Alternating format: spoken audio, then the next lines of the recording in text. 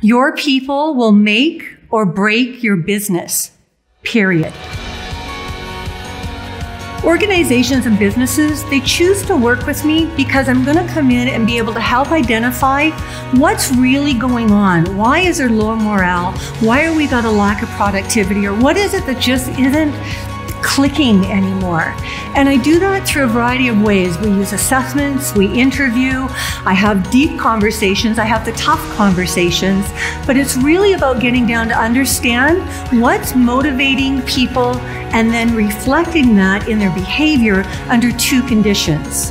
The first condition is when everything is going well. We have one way of behaving and interacting with each other.